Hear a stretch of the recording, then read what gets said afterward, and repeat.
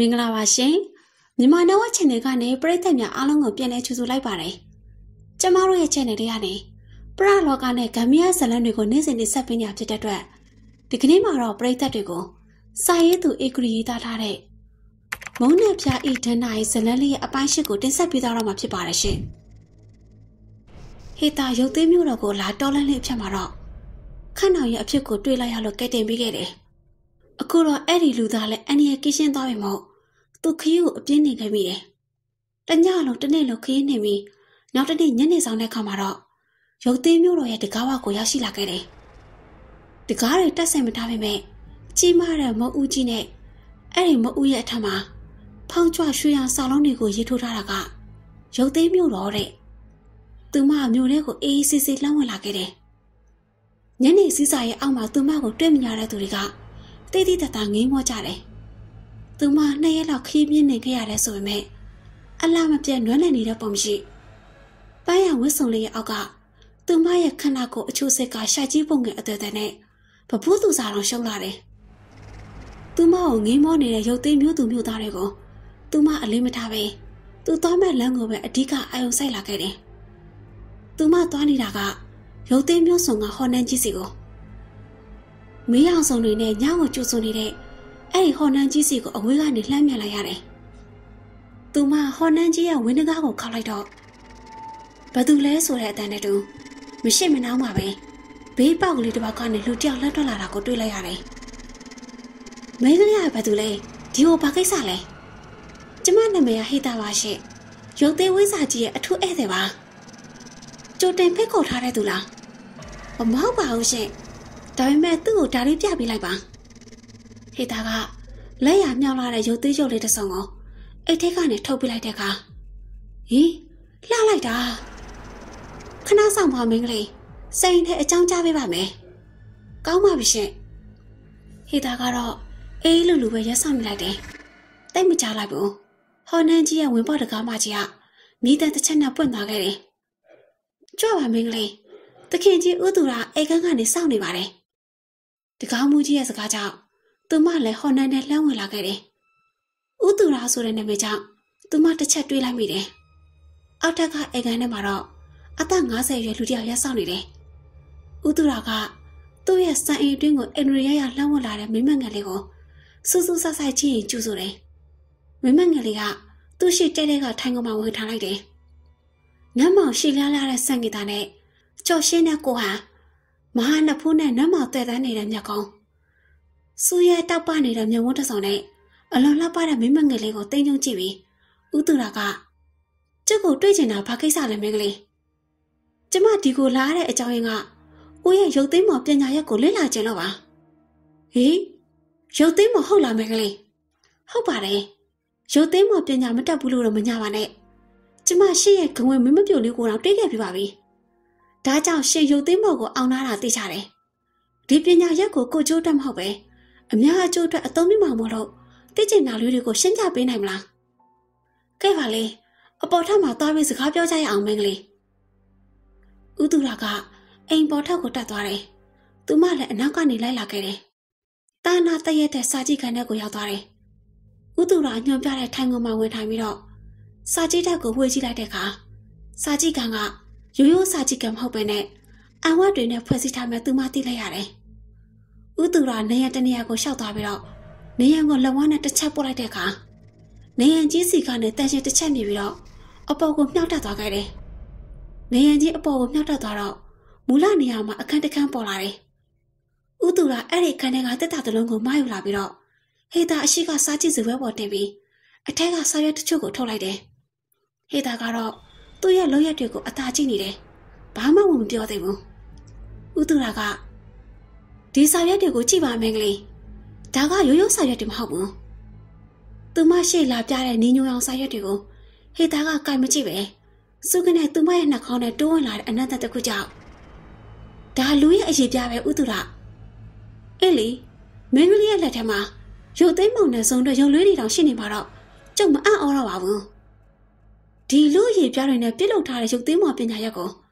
ဥတူရာဘယ်ကနေတင်ယူတက်မြောက်ထားတာလဲ မင်းကလေးထင်တယ်လို့ဒီပညာရက်ကိုကြောက်ကလေးလာလို့တက်မြောက်ခဲ့တာမဟုတ်ဘူးမင်းကလေးအရင်တုန်းကကျောက်ကတာမရုပ်သေးကျိုးဆဲဆရာတယောက်ပဲ။ဒီနေ့ကျောက်ရုပ်သေးပြဝဲသွားဖို့ရွာတရွာကိုသွားခဲ့တယ်။အဲ့ဒီညမှာရုပ်သေးပြဖို့သွားတဲ့ရွာကိုမရောက်လိုက်ပဲ။တောထဲမှာမျက်စိလည်နေခဲ့တယ်။ကျောက်လည်းရုပ်သေးပွဲမပြရရင်ယူထားတာတက်ငွေပို့ပေးရမှာမလို့စိတ်တွေညစ်နေတော့ကြောက်နိုင်ကူကြီးတူခုကိုတွေ့ရလေ။အဲ့ဒီလှန်ကူထဲမှာအခုမင်းကလေးရှိကရုပ်သေးမော်ပညာရက်တွေရဲ့ ခက်ခဲနဲ့နေတာတွေကိုလေ့လာရတယ်။အဲ့ဒီကူထဲမှာရုပ်သေးမော်ပညာရက်တောင်မကပဲတခြားပညာရက်တချို့ကိုလည်းတွေ့ရတယ်။ထူးဆန်းတဲ့အယုတ်တွေနဲ့စီရင်နဲ့အင်းပညာရက်တွေမဟုတ်လားဦးလေး။ဟုတ်ပါတယ်။ကျုပ်အဲ့ဒီကူကစာရွက်ပုံတွေကိုတခုမှကြံတည်ယူလာပြီးတော့လေ့လာခဲ့တယ်။ဘယ်နည်းနဲ့လောက်ကြာသွားလဲဦး။ငါးနှစ်လောက်ကြာတယ်။ဒီထဲမှာကျုပ်အဓိကလေ့လာဖြစ်တာကရုပ်သေးမော်ပညာရက်ပဲ။အဲ့ဒီပညာရက်အောင်မြင်တက်မြောက်သွားတော့ဒီရုပ်သေးမျိုးတော်ကြီးတည်ထောင်ခဲ့တယ်။ ခုတော့ကျုပ်လည်းအသက်တွေကြီးလာတော့ဒီပညာတွေနဲ့မပတ်သက်ချင်တော့ခုလိုတိကျနေထိုင်ခဲ့တာပဲ။ဒါဆိုဂဝင်မကိုမဖြတ်စည်းပြစ်ပဲနဲ့ဘာလို့ဆွန့်ပစ်လိုက်တာလဲ။ဒါကတော့ကျုပ်ရဲ့လှုပ်ဝဲချက်လို့သတ်မှတ်ပေးပါ။မင်းကလေးသိလို့တဲ့အဓိကအကြောင်းရင်းကိုပဲမေးပါ။ကောင်းပြီလေ။ဒီရုပ်သိမ်းမှုပညာရက်ကိုအားပြောစေတာကဘာများဖြစ်နိုင်မလဲ။อืมမင်းကလေးကအဓိကတာလွန်တဲ့အချက်ကိုမေးလိုက်တာပဲ။ကောင်းပြီလေ။ ကျုပ်ကလည်းဒီပညာရက်တွေကိုစိတ်ကုန်နေပြီမို့လို့အကုန်ပြောပြမှာပါ။ရုပ်သိမ်းမှုပညာရက်ကိုအားနည်းစေတာကလင်္ကာလေးတစ်ပုတ်ပဲခွဲ။အဲ့ဒီလင်္ကာလေးကတော့ဒီစာရွက်တွေကပဲ။စိတ်ထဲကပဲဖတ်ပါမင်းကလေး။အသုံးပြုတော့မယ်ဆိုမှအတန်းထရွတ်ဖတ်ရမယ်။ဒီလင်္ကာလိုစာချိုးလေးလိုလိုအရာကရုပ်သိမ်းမှုပညာရှင်ကပဲတည်ထွင်ခဲ့တာ။ဒီစာလေးကိုရုပ်သိမ်းမှုဘလောက်ဆန်းဆန်းသူ့ရှိမှရွတ်ဆိုလိုက်တဲ့ဆိုရင်ရုပ်သိမ်းမှုအစွမ်းကအပြောက်သွားလိမ့်မယ်။ လိုအပ်မှပဲရွတ်ရမယ်။မလိုအပ်ပဲရွတ်မိရင်တော့မလိုလားအပ်တာတွေဖြစ်လာလိမ့်မယ်။ဦးသူရာကသူ့လက်ထဲကဆော်ရွက်တစ်ခုကိုသူမစီကမ်းပေးတယ်။ဟေတာလေးဖြန့်ကြည့်ပြီးတော့စိတ်ထဲကနေရွတ်ဖတ်ပြီးတယ်။နေ့တစ်ခုကုံကကုံဆုံးတော့ပြုံးမမဟန်ပလီညံတီတဲ့ကောက်ွက်ဆန်တညအကုန်နေခမ်းတန်းရင်လာလန်းကိုမြန်းနဲ့စားတော့ခတ်တူတူပဲသူမရုပ်သိမ်းမော်ပညာရှင်ကြီးကိုကြည့်ပြီးတော့ ဒီစာကိုစိတ်ကမှတ်ပြီးတော့စာရွက်ကိုမယူတော့တော့ဘူးရှင့်ဒီလင်္ကာလေးနဲ့တူတူဒီစာရွက်ကိုဖြန့်ဖက်လိုက်မှအစွမ်းပြတာကွစာရွက်မပါရင်လင်္ကာရွက်လည်းဘာမှထူးမလာနိုင်ဘူးမင်းကလေးသဘောပေါက်ပါပြီဦးအခုလိုအင်မတန်တောင်မိုးကြီးတာကိုအပိုင်မသိမ်းချင်ပါဘူးတနေ့လာပြန်ပို့ပေးမယ်လို့ဂရိဖြစ်ပါတယ်ရှင်ရပါတယ်မင်းကလေးမင်းကလေးဟာဂရိတစ္ဆာကြီးမားတဲ့သူဆိုတာကိုဦးကြည့်တာနဲ့သိပါတယ်ယူသွားလိုက်ပါတခုတော့သတိထားနော် အင်မတန်အရေးကြီးတယ်ဒီစာရွက်ပါလင်္ကာလေးကိုရုပ်သိမ်းမော်ပညာရက်ကိုအသုံးပြုသူရဲ့ရှင်းပါပဲရော့မဟုတ်ရင်တော့အန်ဒီရဲ့အလွန်ကြီးမားတယ်စိတ်ချပါဦးအရေးကြီးနေတာမို့လို့ခွင့်ပြုပါအောင်ဟေတာကသူမမကချင်းတဲ့လူအရေးပြားနဲ့ပြုလုပ်ဆင်ထားတဲ့အဲ့ဒီစာရွက်ညုံညညစ်ကိုအိတ်ထဲခောက်ထည့်ပြီးတော့ဥတုလာကိုနှုတ်ဆက်ပြီးအပြန်ခရီးကိုစတင်ခဲ့တယ်အာအမေအမေတရေပြတရေတရေဟဲ့ဟဲ့အိုးဒီကလေး မမယိုးယိုးနဲ့ဘာရရှောက်အောင်နေရတော့မမပါဘူးအမေအမေတာမမူးရသေးဘူးဗျဟောဒီမှာဆိုင်ကဝင်လာတဲ့အရက်အိမ်ကျမှအေးဆေးဆေးတောက်မယ်ဆိုပြီးတော့မှယူလာတာဘဲကမူးရမှာတော့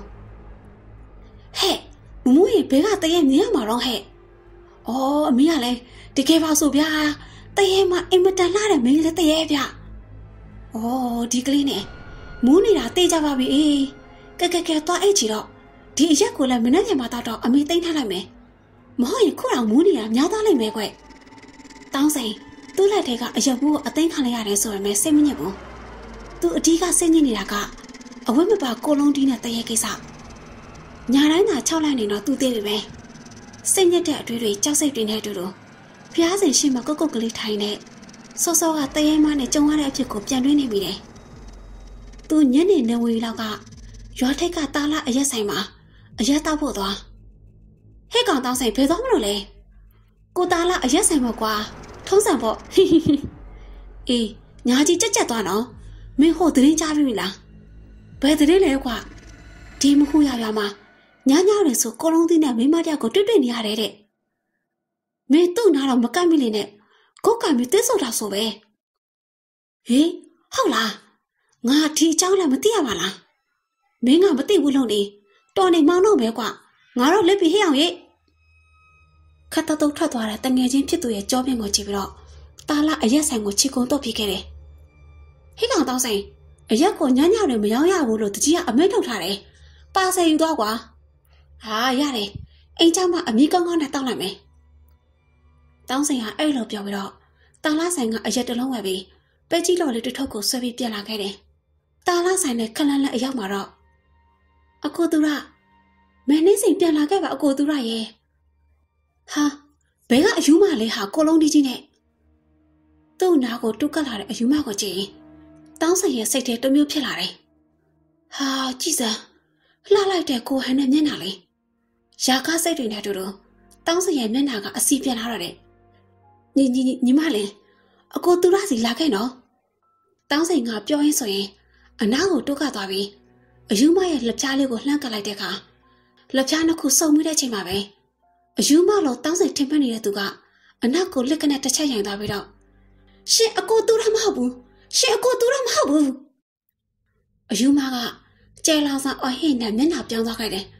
ဟာတဲတဲတဲတဲပြတဲတဲတောင်းဆိုင်တယောက်အဟင်းထပ်ပြေးလာတယ်အိမ်ဘဝကိုလည်းဘဲကဘလို့ရောက်သွားမှမသိတောင်းဆိုင်ညနေကအဖြစ်ပြက်ကိုပြန်တွင်းနေတယ် ဟာဒါဘယ်နည်းနဲ့မှမဖြစ်နိုင်ဘူးသူ့လက်ကိုငါထိလိုက်တာအိတ်ဆက်နေရပဲတရေမကလူရောင်ဖန်ဆင်းတာပဲဖြစ်ရမယ်တောင်းစိန်တယောက်တွင်းတွင်းနဲ့အိမ်သာတက်ချင်လာပြန်တယ်ဒါနဲ့ဓမီလေးကိုဆွဲပြီးတော့အိမ်ဓာတ်ကိုကြောက်ကြောက်လန့်လန့်နဲ့လာခဲ့တယ်လောက်စုံရမို့လက်ကမထွက်သေးဘူးညနေကကိစ္စကိုလည်းတွေးကြောက်နေသေးတယ်ဆိုပေမဲ့ဟိုကွာဒါကရွာတယ်စောစောကရွာပြင်နောက်မလို့သူ့လိုင်းနောက်ရှက်လို့ရနေတာဖြစ်မှာပါ တောင်းစိန်တရားအဲ့လိုဖြစ်တွေ့ပြီးတော့ထွက်လာခဲ့တယ်။ရွာဒလေးရအိမ်သားကလည်းအတော်ဝေးတယ်။တကားကလည်းကြမ်းမတက်ထားပဲစိတ်ုံပဲစီထားတာ။တောင်းစိန်တရားကြောက်ကြောက်နဲ့အိမ်သားတက်နေချွေးပြက်နေပြန်တယ်။အရေးတဲ့ဖိတ်နာတာကဘယ်ပြောက်သွားပြီမလဲမသိပါဘူးကွာ။အိမ်သားမတက်ချင်တော့ဘူးလို့တွေးပြီးတော့ထပြန်မဲ့လို့စိတ်ထားတဲ့အိမ်သားတကားကိုအပြင်ကပို့လိုက်တဲ့တန်ကြောင့်အမေလားခဏလေးအမေတားထွက်လာပြီ။တောင်းစိန် အိမ်သားတကားကိုတွန်းဖွင့်ပြီးအပြင်ကိုအထွက်အပြင်ကိုလည်းရရောဓမီရအောင်မှမြင်လိုက်တဲ့မိမတရားကြောင့်သူဘာသာမှမထွက်နိုင်တော့ပဲဒူးညုံပြီးခွေချသွားပါတော့တယ်လက်ကလွတ်ကျသွားတဲ့ဓမီအောင်ရဲ့အောက်မှာတော့တောင်းစင်ရဲ့အနည်းကိုတဖြည်းဖြည်းတိုးကပ်လာပြီးလန်းလန်းလိုက်တဲ့အချိန်မှာပဲရက်စန်းကဝင်မအခုတည်းလူတွေကိုနှောက်ရှက်နေတော့လားတော်သေးတာပေါ့ငါဒီဘက်လမ်းကလှည့်ပြန်လာပြီတော့တားမြစ်တန်တဲ့တူ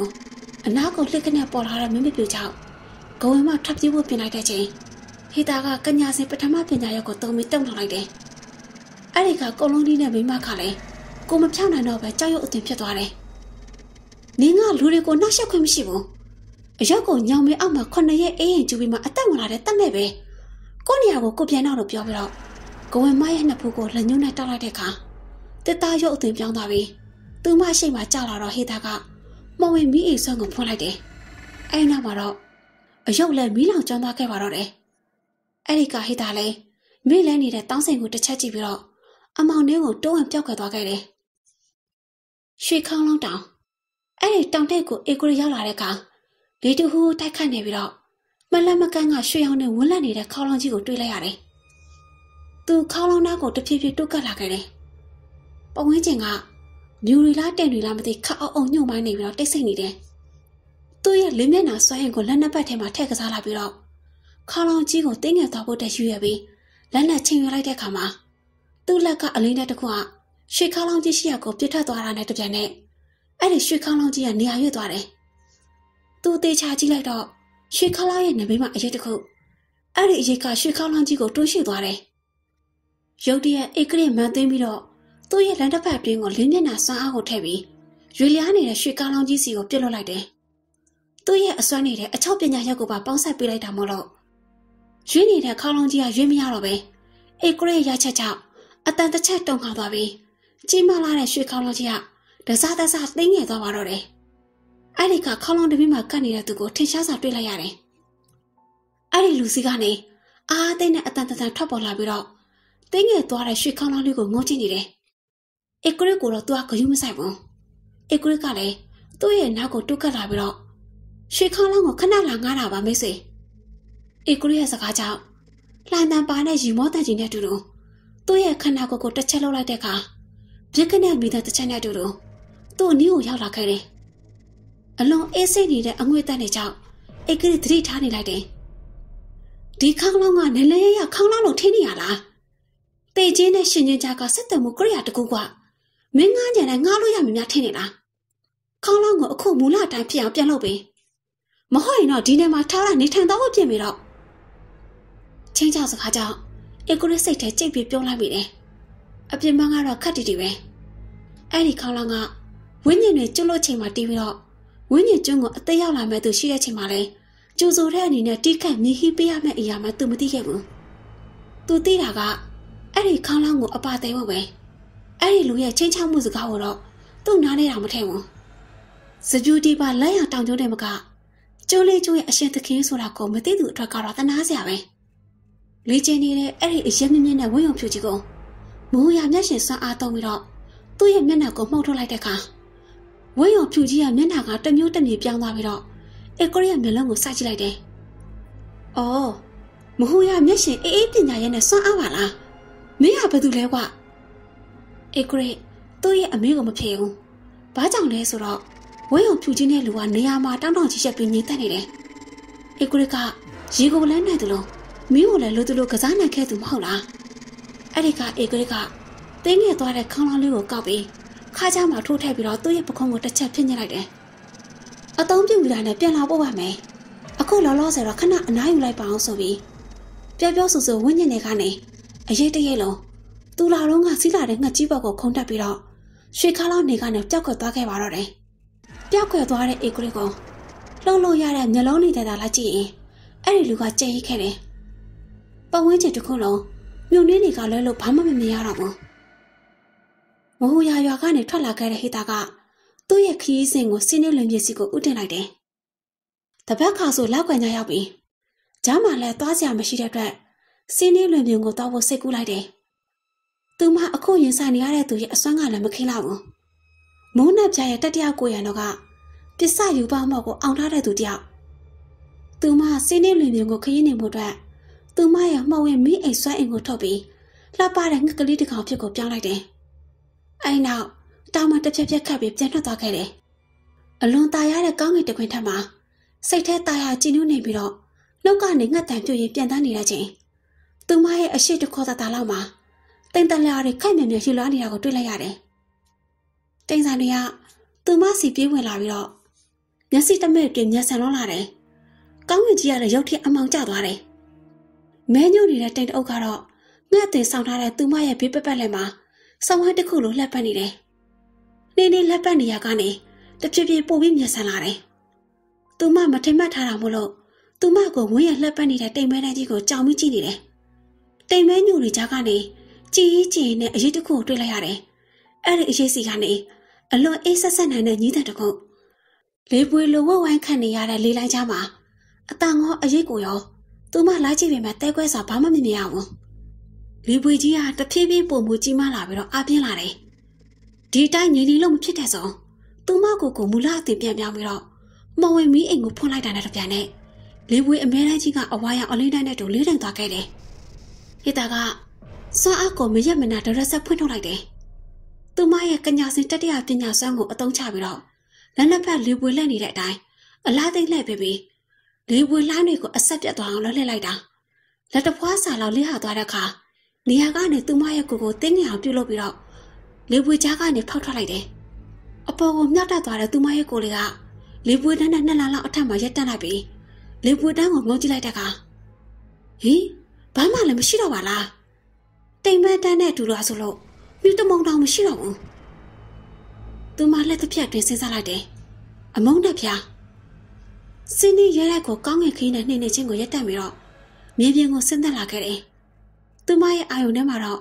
နောက်မထင်ရွာသားဦးဆက်လန်ကိုတွေ့မြင်ရတာကြောင့်တာမခီးနဲ့နောက်မထင်ရွာကိုခီးဆက်လာခဲ့တယ်။နောက်မထင်ရွာလေးမှာတော့သူမရဲ့အတိမိတ်စင်နှစ်ခုတစ်စိတ်ဦးဆက်နိုင်ရှိတယ်မဟုတ်လား။သူမလည်းအဲ့ဒီနေရာကနေထွက်သွားရောလင်းရှင်းနေတဲ့ပုံဝန်းကျင်မှာအရေးတရိပ်ထင်ဟလာခဲ့တယ်။အဲ့ဒီအရေးက ခန္ဓာလာတဲ့လှန်တန်ရှိကြီးကိုဆွဲကမိသူ့ရဲ့ရှေ့လာနတ်မောင်တဲ့ဆပင်တွေကလေထဲမှာတက်လွတ်လွတ်နေရာကနေထွက်ခွာသွားတဲ့ပန်းတို့ရောင်မင်းမလာလေးကိုကြည့်ပြီးတော့ပြန်လည်ပြောက်ခွဲသွားခဲ့တယ်။အဲ့ဒီຢာကိုဟေတာမသိလိုက်ဘူးအရာရာကတော့တိတ်ဆိတ်နေတက်ပြီးကြင်ရင်ခဲ့ပါတော့တယ်နောက်မထင်ရွာရုပ်သေးအတက်တွေနဲ့အသက်မွေးဝမ်းကြောင်ပြုတ်အရာဖြစ်ပြီးအလွန်စီကားလာတယ်အခုတော့အဲ့လိုမဟုတ်တော့ဘူးရွာလမ်းမတစ်လျှောက်လုံးခွေးတစ်ကောင်ကြောင်တမီမှမတွေ့ရဘူး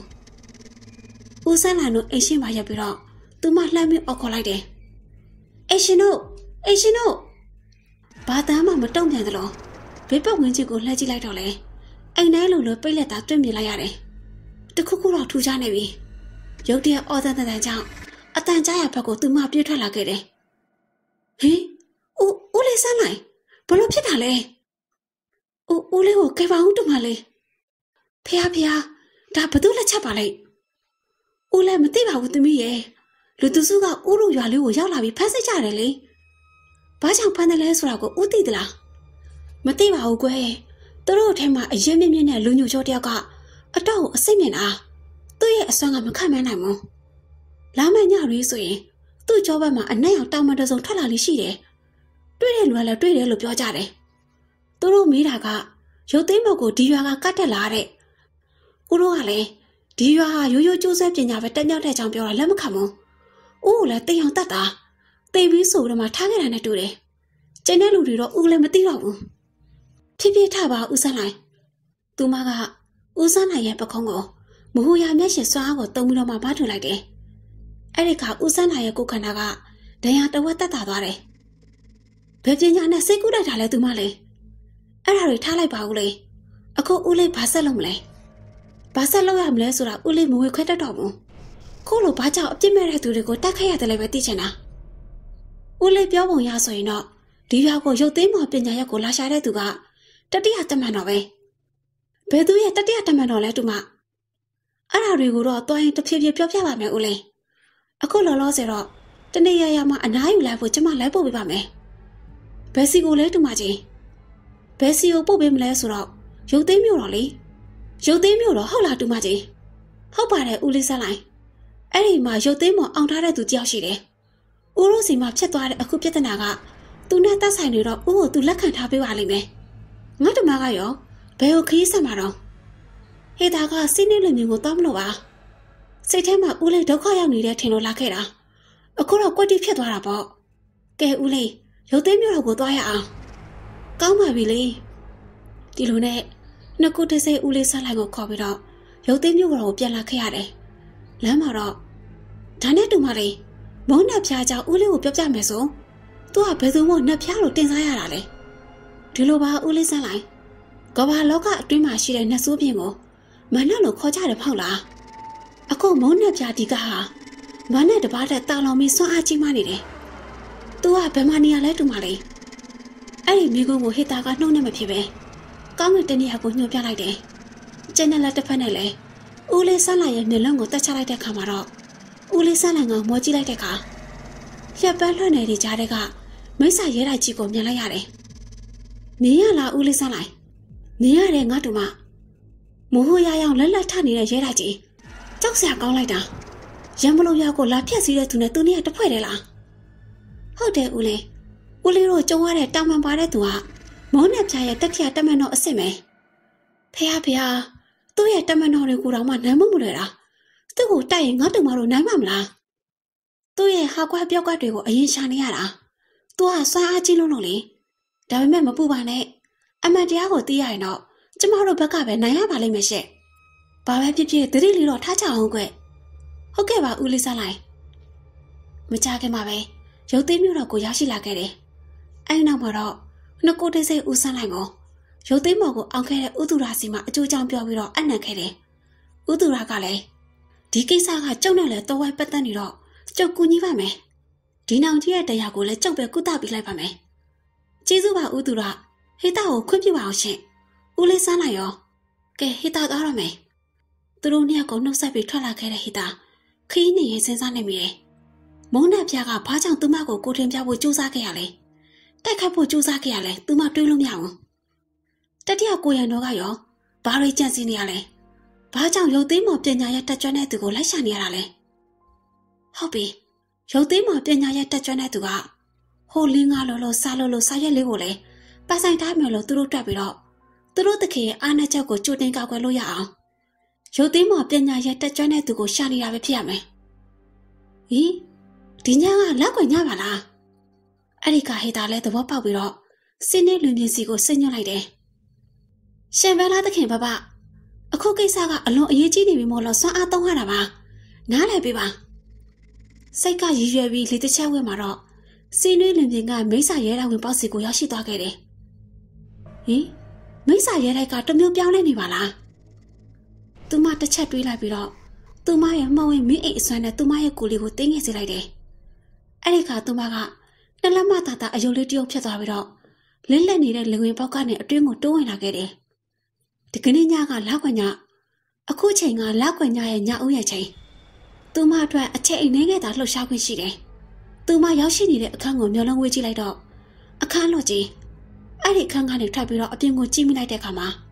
ခလန်လန်းမှာအပြားရောင်အလင်းတန်းတွေနဲ့ဖြားလန့်နေတဲ့အရာတခုအဲ့ဒီအရာကိုသူမဘက်ကကြည့်အကုန်မမြင်ရပါနဲ့ရေကမ်းမြစ်အဖြစ်ပဲမြင်ရပြီ အမြင့်ကလည်းလူတရက်လောက်ရှိတယ်ခရမ်းရောင်အလင်းတန်းတွေကတော့အဲ့ဒီရေခဲပြင်ကိုအနားကွက်ထားတယ်သူမရဲ့ကိုလေးကိုတဖြည်းဖြည်းတင်းငင်ရလှုပ်ထားလို့တတိယကိုရံတော်ကလည်းမြင်မမဟုတ်ဘူးအပြာရောင်အလင်းတန်းရှင်တာသူမရောက်သွားချိန်မှာတော့လူတယောက်ကိုအပြာရောင်အလင်းတန်းနဲ့ချုံနှောက်ထားတာကိုတွေ့မြင်လိုက်ရတယ်သူကခေါင်းကြီးကဆိုင်နဲ့မျက်လုံးတွေကိုမှိတ်ထားတယ်အဲ့ဒီလူရဲ့မျက်နှာကိုသူမမြင်လိုက်ရတဲ့ကအလွန်တုံ့လောက်သွားတယ်ဟင်နတ်ဆက်ရောင် သူမရဲ့ပါဇက်ကနေထွက်သွားတဲ့အတန်ကခတ်တူတူဆိုပေမဲ့နတ်ဆက်ရောင်ရဲ့မျက်လုံးတွေကပွင့်ထွက်လာခဲ့တယ်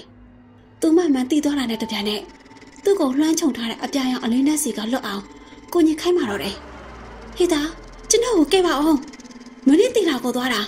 မနေ့တီလာမရောက်ပဲလမ်းမှာအဖမ်းခံလိုက်ရတယ်မကြခင်မုန်းနဲ့ပြရဲ့တတိယတမန်တော်ရောက်လာတော့မယ်သူလာရင်ရင်ဆက်ရတဲ့ခက်ခဲသွားလိမ့်မယ်အမြဲလွတ်ပေးပါသူမအင်မတန်စိတ်ပူသွားပြီး နတ်ဆက်ရောင်ရဲ့အနာကိုအလင်းစလိုတွက်ကပ်သွားတဲ့အခါနတ်ဖန်ကျိုးကိုမမြင်ဘဲနဲ့တက်နေမိလိုက်တော့ဖောင်းဆိုတဲ့အတန်ကိုလဲကြားလိုက်ရောသူမရဲ့အမကိုတိလိုက်လေတဲ့ခဏအတွင်းနောက်ကျုံးပြစ်ပြီးတော့မှရှောင်နေလိုက်တယ်နတ်ဖန်ကျိုးကနေလွတ်ထွက်သွားတယ်ဆိုပေမဲ့နတ်ဆက်ရောင်ကိုချိထားတဲ့အပြာရောင်အလင်းကသူမခုန်ထွက်ရသည့်ဆွဆန့်ပါလာပြီးသူမကိုရင်နောက်ထားတယ်အဲ့ဒီခါသူမရဲ့ကိုလေးကယုံမရပဲတောင်းတောင်းကြီးဖြစ်သွားတယ်နတ်ဆက်ရောင်ကိုကြည့်လိုက်တော့အခုနတ်ဆက်ရောင်မဟုတ်တော့ဘူး ပြုံးဆားဆားနဲ့သူမကိုကြည့်နေတဲ့သူကတတိယတမန်တော်သူမထောင်ချောင်းမိသွားပြီပရိသတ်များရှင်မုံနဲ့ပြအေးဒဏ္ဍာရီဇလန်းလေးရဲ့အပိုင်းရှိကတော့ဒီလောက်ပါပဲနော်အပိုင်းကိုမှာတော့ဟေတာစိနေလွင်မြင်ကနေအပြန်လက်ပံလာဆိုတဲ့ရွာလေးကိုရောက်လာခဲ့တယ်အဲ့ဒီရွာမှာကြုံနေရတဲ့အန္တရာယ်ဆိုးတွေကိုရောဟေတာတယောက်ဘယ်လိုဖြည့်ရှင်းပေးအောင်လဲဆိုတာကိုပရိသတ်ကြီးကစောင့်မျှော်အားပေးနားဆင်ပေးကြပါဦးရှင် အချိန်ပေးပြီးနားဆင်အားပေးခဲ့ကြတဲ့ပရိသတ်များတို့ဦးချင်းစီကိုကျေးဇူးအထူးပဲတင်ရှိသလိုစာရေးသူအေဂရီကိုလည်းကျေးဇူးအထူးပဲတင်ရှိပါတယ်ရှင်ဒီဇလန်လေးကိုတင်ဆက်ပေးခဲ့သူကတော့ကျမတကူမိပဲဖြစ်ပါတယ်ပရိသတ်များအားလုံးကံကောင်းခြင်းပျော်ရွှင်ခြင်းကျမ်းမာခြင်းတွေကိုပဲအစင်ထောက်ရပတ်ဆိုင်နိုင်ကြပါစေရှင်။